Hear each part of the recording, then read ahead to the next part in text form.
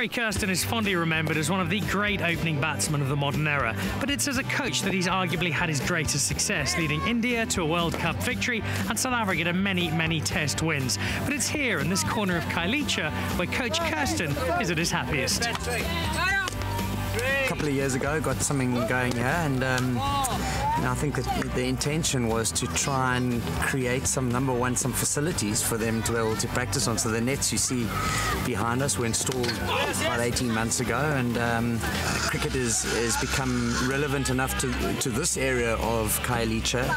If cricket can bring a smile to people's faces, then I'm, I'm happy. When you see what's happening here, the combination of passion for the game with a real degree of talent and an opportunity for kids to use cricket to extend themselves, become better people, uh, everything comes together so nicely here. Absolutely, and I think the, the important point you make is that there is talent out here. Um, we've got two foundation teams, and an under 19 team and an under 15 team, who are starting to show um, that they can go and win games fairly consistently, um, which we're really happy about. And uh, the heroes here are the coaches that come out here every day and have a passion to really, um, you know, nurture this this talent and the potential um, that exists out here.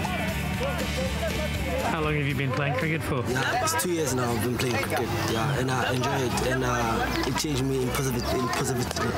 Yeah, I changed my attitude, and uh, I, I stopped uh, doing drugs. Now I'm playing cricket. Yeah, That's a good swap. That's a good swap. What, what do you really love about cricket? yeah, everything. Especially the thing that I love is hitting some batsman with the ball. So you're a fast bowler. Yeah. I'm here partly to meet you guys, but also to have a bit of a trial as well, see if I can join the academy. Uh, if I want to come for a tryout, what do you think I need to focus on if I want to be as good as you guys? We all know that commitment requires a sacrifice. So that's all, all I can say to you. If you uh, if you want to, to come and play for us. Do you think I look athletic enough?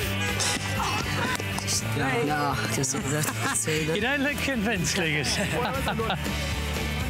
What's really impressed me watching here, some of these kids look really good. I'm very frightened of the fast bowlers. I don't want to bat, and the batsmen look fantastic as well.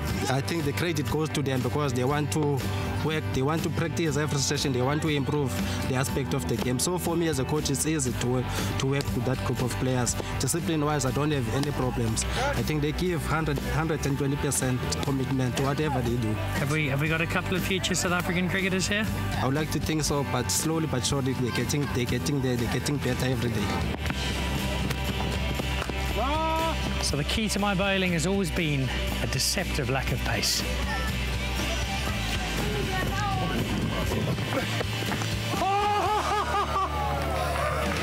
With an enthusiastic afternoon's practice done in Khayelitsha, time to reward some of the better performers as former Israel under-21 cricketer Howard Khan dished out some gifts from Adidas to congratulate some very exciting young cricketers. Well, the big question, Gary, we've given out the prizes, we've seen the kids playing, we've watched your project in action, and a wonderful project it is. Do I have a future at cricket? So I was impressed with your enthusiasm.